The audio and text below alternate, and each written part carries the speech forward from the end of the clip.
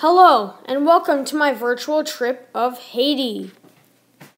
To start us off, we have the Piscine Bleu, which is a series of turquoise pools located outside the town of Jacmel.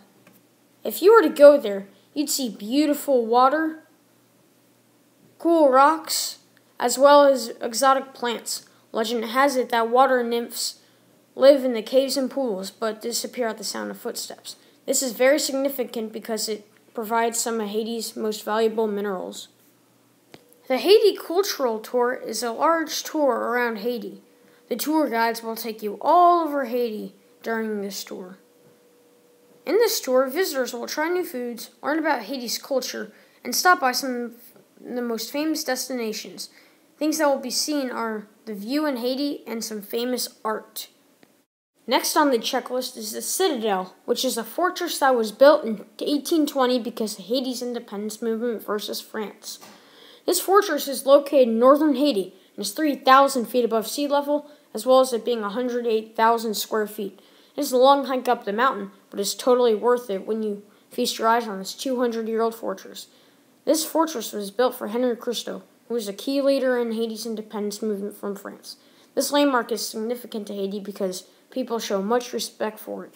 Why? It's because it led Haiti through the independence movement versus France. Not to mention, it's the biggest fortress in North America. Next up, we have the Ogier-Fombrun Museum. This museum has very important art in it, which is located on the western side of Haiti. Inside the museum, you will see historic figures and art. This is the most famous art in here. This is significant because it holds Haiti's most valuable and most expensive art that was ever made in the country's history. Saint Mathurin is the largest waterfall in Haiti. It is located in Sud Haiti, which, as you can see, is the far west and bottom of Haiti. If you went to see Saint Mathurin, you would see a large 90 foot waterfall, exotic plants and animals, as well as birds, and its beautiful water. This is significant because it also provides some of Haiti's water.